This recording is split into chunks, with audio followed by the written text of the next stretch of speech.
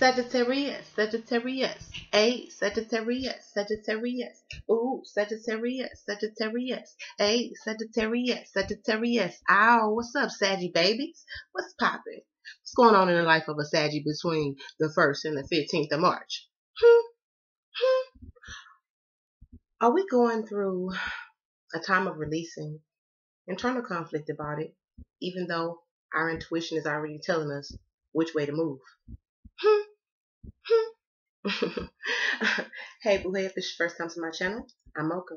Also, if this is your first time to my channel, look out. I cuss, okay? May cuss a little, may cuss a lot, just depending on what the hell these cards say. Oh, but I'm a cuss. So if that does not resonate with you, please feel free to find another beautiful reader here on YouTube. This is just a general, it's not a personal reading, okay? If you need a personal, that information can be found within the description. And hit me up, boo. Just send me an email, boo. this will be for my Sun, Rising, Venus, as well as the cross watchers for the sign of Sagittarius between the 1st and the 15th of March. Y'all, we made it. How does it feel?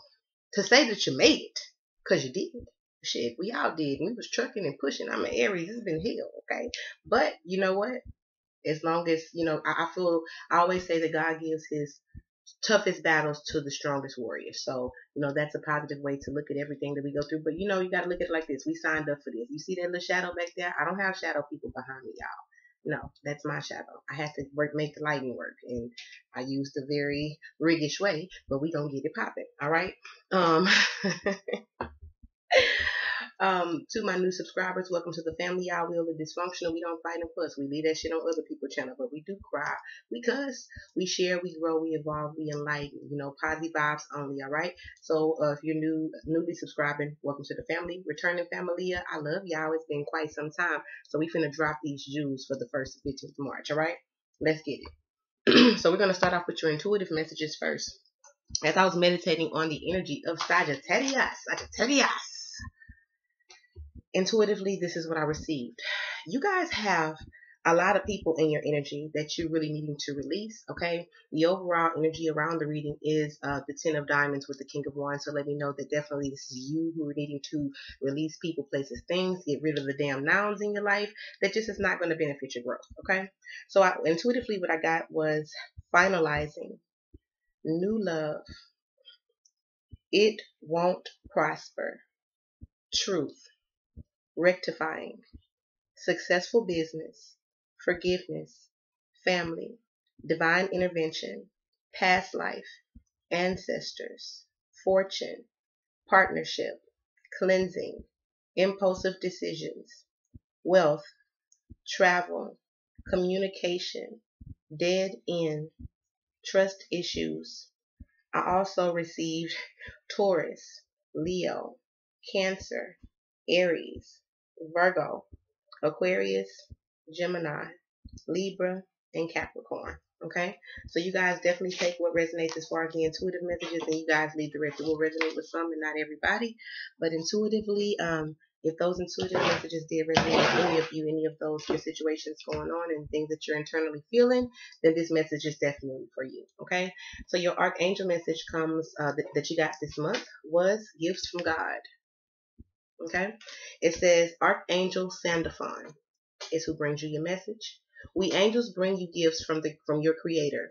Open your arms to receive. So the things that you're having to release, just know that they were only blockages to your abundance, and that spirit is committed to bestow some beautiful things in your life if only you be um, receptive and allowing. Okay. So some of you all are really needing to focus on during this time. For some of you all, your throat chakra, speak up for yourself. It is not you don't handle your issues by running away and just ghosting people because it's a way of leaving a damn window open. Shut if you're gonna shut the door all the damn way, shut the door. Don't leave the window open. Okay?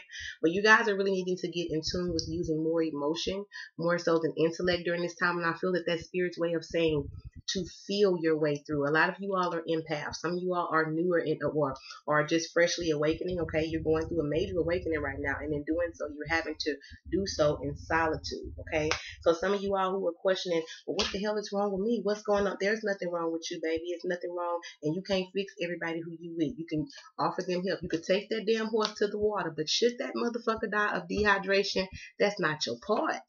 Okay? So I definitely feel that for some of you all, you really just shedding light, uh, you know, shedding wisdom um, on pretty much you're gaining the wisdom, you're taking the wisdom during this time from situations versus looking at things from a negative aspect. You're looking at the positive, you know, yeah, you know, that person came in, they reconciled, they really weren't about shit, you know. But however, God, thank you for really allowing me to, you know, spend that time, have that moment of closure with my soulmate. Cause I'm gonna block them. You better, you better know and I'm gonna block them and show it. In God we trust. I'm a blocking professional, okay? And I'm talking to Sagittarius. Y'all don't play play with the block button. Y'all have a whole RSVP to the block parties, okay? So I definitely feel like there's going to be some light shed on the situation. Um, for some of you all, this could have to do with the father figure, okay? Um, either you the father figure or this could have to do with your father figure, but spirit is bestowing some form of um, divine intervention through way of your dreams. Some of you guys' dreams during this time are going to be extremely vivid for some of you all, you're honing new spiritual abilities. Some of you all were already um, aware of the fact that you're clairvoyant, but some of you all may wake up and find out that you're as clairaudient. You hear people from the other side. You hear spirits from the other side, and they're wanting you not to be afraid, but to make a choice. It had this has to do with your life path, your destiny. Um, this also has to do with your actual purpose. Okay, so for some of you all, spirit is trying to give you peace during this time. But a lot of y'all have to, I'm hearing surrender, surrender. You need to surrender. You're going to need to surrender. If you cannot, you cannot control every, every aspect of every situation. Some of you all, you, you, you're being gifted the, um, being gifted knowledge or wisdom about situations to give you that internal closure, that internal fix that you need in order to release, fully release and move forward. Okay. Spirit is saying do not stay in that place of sadness. Yes, let those emotions surface, but you still need to find some form of momentum after the fact. Okay. For some of you all, you have a decision to make, and this is kind of getting to what I'm saying. you can make the choice. Okay. You have a choice to make. You can make the choice, and some of you are, you're making the choice to just completely start over. Start over and focus on spiritual abundance because you understand when you're spiritually abundant and you understand when you're walking in spiritual abundance, everything else shall follow because you understand the law of attraction. You understand how to manifest the things that you want. You understand to keep your thoughts in a positive place because they're manifesting at a very rapid rate. Some of you all are having to make a decision. Really watch who y'all, I, I keep telling y'all, during this time, some of you all may um, be finding out that some of y'all have someone within your family. This could be a hell of an uproar that's taking place that's going to um, cause you all to have to possibly start over. This could be within um, some type of partnership or some type of marriage. But for some of you all, it's actually ending karmic relationships, actually ending karmic cycles in your life of codependency, of um, feeling as if you have been abandoned. You know, it's looking at situations without judgment and making a choice to move forward and taking what you've learned, taking the wisdom that Spirit has bestowed on you within those situations and moving forward and actually focusing on how you can apply that, why you had to go through that. For some of you all, this is a time where you better keep your damn grass low because the snakes is out and they ready to bite your ass. Do not give the snakes the venom to bite you with later. Watch what you tell people. Okay?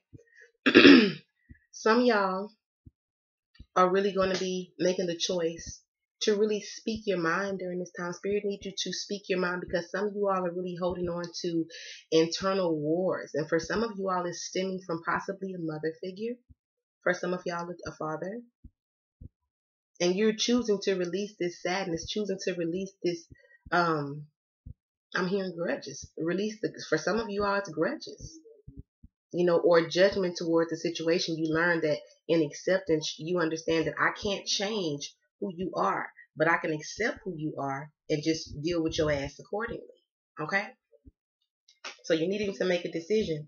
For some of you all, it's actually allowing spirit to take you through, move you through this awakening and actually comfort you through this awakening. And for you, a lot of y'all really need to get out in nature as well. Some y'all got a massive ass download coming in nature, especially those of you who are dealing with a twin flame or a past life karmic soulmate who's a Virgo.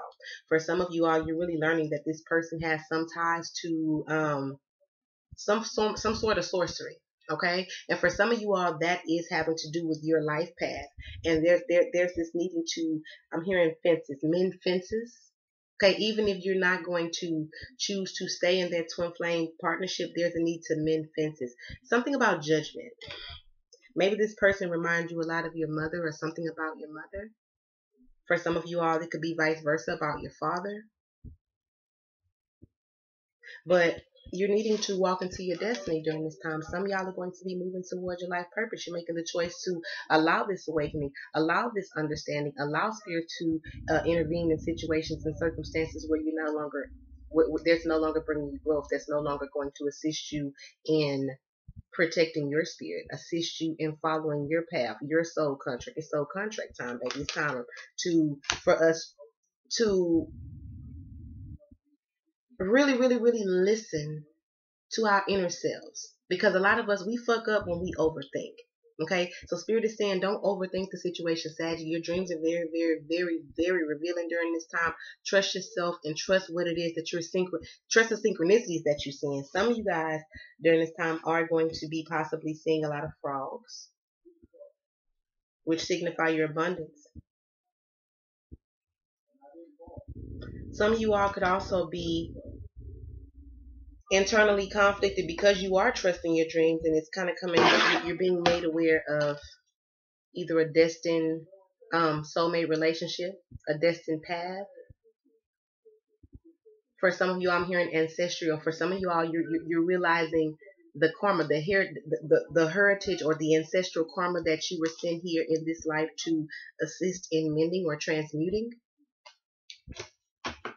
but you definitely have a decision to make, and Spirit is saying there's no need to worry because no path is the wrong path. Everybody focuses on a fucking right or wrong. There is no right or wrong. It's an understanding. It's enlightenment. If you don't know, if you you have to go through some shit and bump your head in order for you to know better. So stop judging yourself. It was destined. Your life path was destined for you to make a free will choice, a free will decision to move forward in the path that best suits you. You can't save everybody, Sage. Okay? Mm, that was deep. All right.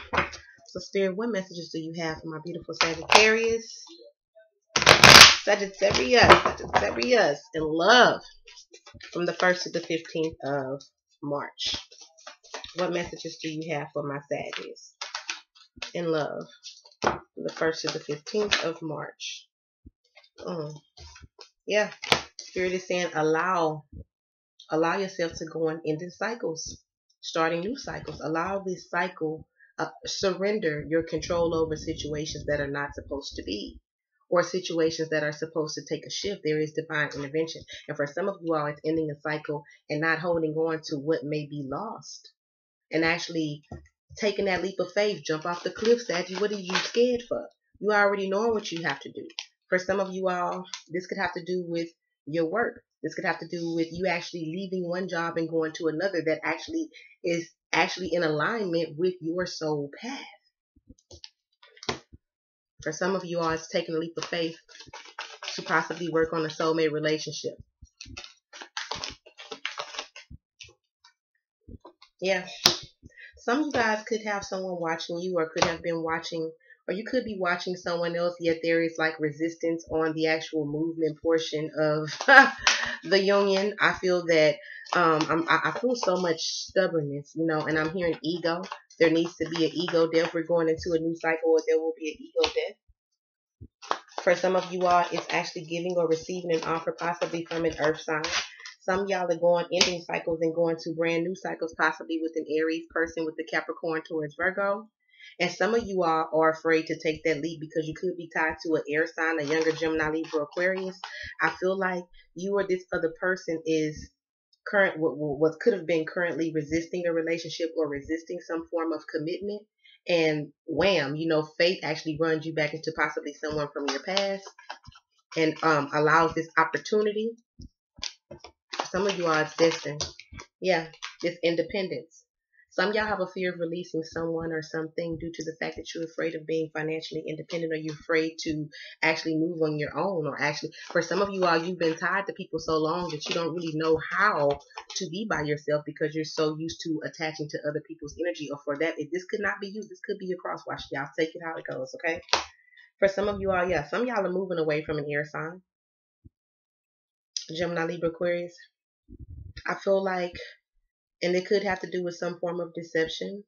This is going to take you into a new cycle. I definitely feel like some y'all are internally conflicted about moving into this new cycle, even though you intuitively know which way to go. For some of you all, this has to do with a Capricorn, possibly someone moving away from someone or internally conflicted about moving away from um, a toxic a toxic situationship, a toxic union. For some of you all, this is definitely something that's karmic. This could also involve a Leo sun card here. But some of you all are wanting to press restart, start fresh with someone, something. Some of you all are watching this person. This person could be watching you, seeing you flourish and seeing you independent. Why y'all watch out because it's income tax time. y'all know this is the Mocha Love Tarot channel. We gonna tell the truth over here, okay? all right, Spirit, let me let me ask. Oh, y'all cards want to jump. Clarify the major arcanas, okay? Some of you all could also be um some y'all could also be randomly just telling someone during this time, fuck it, I'm moving. I'm gonna focus on my money. Or some of you all could be moving away from toxic situations, toxic jobs, toxic people, toxic friendships, and just focusing on what best suits you and your path and which you're trying to walk on. Okay, so Spirit, why is the High Priestess here? Why is the High Priestess here? Yeah, for some of you all, you intuitively know that someone who you've been trying to manifest is going to be coming forth towards you during this time. And I feel like you could be tied to someone or something that is toxic. And you're kind of internally conflicted because you know the spirit is kind of on your ass about making a move, yet you just kind of sit and feel like, well, not today, tomorrow. And tomorrow don't come. oh, kind of like me with planning things. You know, there's a need to actually moving forward. Yeah, y'all caught that shit. Yeah, kind of like me with planning things. It don't go well shit. So with that spirit is saying relinquish control. Things will be as they shall be. For some of you all, this is about I'm sorry, for some of you all, this is about working on um, or continuously putting efforts into a, a, situation that you know is karmic, that is toxic. And I feel like the internal conflicts, the uncomfort that is within your soul, is spirits, your inner God. Your inner God is telling you, what the hell is you waiting on, said y'all aboard? It's time to move. Okay? Why is the world card here? Why is the world card? Some of you all are really needing to release. Yeah. For some of you all, this could be actually taking a leap of faith and moving forward, trying something new, restarting a relationship, possibly with an Aries person. This could also possibly be um, a Virgo. Okay? Some of y'all could also be moving away from water signs. I feel the energy of someone like running who's on the run? Like someone could be running and hiding from somebody. Like I literally feel the energy of somebody trying to get low, get low, like get low, literally like hiding in bushes and shit. Some y'all, this could also be a very obsessive um, energy. This could have to do with an air sign, Gemini, Libra, Aquarius. Some y'all are dealing with someone who definitely wants to work on something with you, but it's like they are professional stalker, but they suck at talking. Like they they stalk, but they don't talk. Get me? That's weird. Yeah, but there is internal conflict here. Some y'all are dealing with someone who has definitely like some type of low self esteem. And I feel like as much as you try to work on things and build into that person, that person just really don't get it. They're kind of fix, fixated. Fix, fix, fixed. I heard fixed, but funny I said fixated. Some y'all could also be dealing with an Aquarian, um, a Taurus, Leo, Scorpio. but something is coming in fast. Hmm. For some of you all, this could be actually um, possibly like returning to the mother or the father of your children. But I definitely feel like some of y'all really need to be aware of the fact that this could be something that is kind of short lived. I'm seeing and keep uh, keep in mind that we are going into that Mercury retrograde in Pisces uh, starting March 5th. Why is the Empress here? Why is the Empress here? For some of you all, you're working on a partnership due to finding out that someone's pregnant. Congratulations, Mocha love the kids. for some of you all, this has to do with moving away from a job, or for some of you all, actually just moving over, starting completely over to a whole new place, and it looks to be very successful. You got the Empress with the Ace of Clubs. Looks to be very successful. So I feel like if you're internally conflicted about an actual move, the move looks to be the, the move looks to be very positive. It's going to be abundant. It's going in your favor. Where's the sun card here for? Why is the sun card here? Oh, that was flipped. Yeah. Some of you all you're moving towards, you're finna go get your damn Leo back, okay? But some of y'all you're moving away from, you're moving towards something new. You don't want anybody from your past. You don't want to renew any damn thing. You just really want to focus on your abundance, okay? Focus on your money because you go from the Nine of Pentacles to the Empress with the Ace of Clubs. So I definitely feel like whatever you all are afraid to take a leap towards, Spirit is saying jump off the cliff, Sag. Jump off the cliff. For some of you, this has to do with love, offering your love to someone, actually being vulnerable and actually opening up and, you know, being uh, opening up and fully being all the way present in a situation. This could have to do with the water sign as well, Cancer, Pisces, Scorpio. But I definitely feel like someone is wanting to reconcile with someone. And I do see victory here.